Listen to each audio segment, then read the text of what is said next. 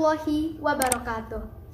Pemirsa sadayana, wilujeng patepang deui sareng simkuring Quincy Akela di SMP Negeri 1 Cibinong dina Warta Sunda.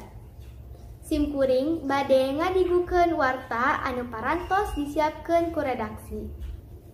Kementerian Pendidikan jeung Kebudayaan Kemendikbud ngalokasikeun dana sajumlah 7,2 triliun rupiah pikeun subsidi kuota internet siswa, guru, mahasiswa, jeung dosen salila opat bulan kaharep. Mimiti September nepi ka Desember 2020. Rencanana, siswa bakal menang 35 GB unggal bulan. Guru bakal menang 42 GB unggal bulan.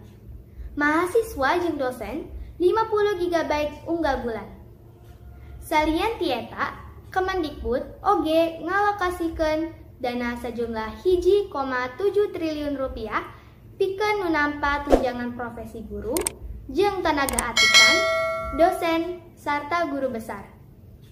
Menteri Pendidikan jeung Kebudayaan Nadiem Makarim netelakeun yen tarekah ieu dilaksanakeun lantaran ayana pamundut di mayoritas masyarakat anu ngangluh waragat kuota internet dina ngakses pembelajaran jarak jauh. Pamirsa, mung sakitu nu kapihatur. Wilujeng patepang deui dina warta nu bakal dongkap. Amit mundur, amit mungkur. Wassalamualaikum warahmatullahi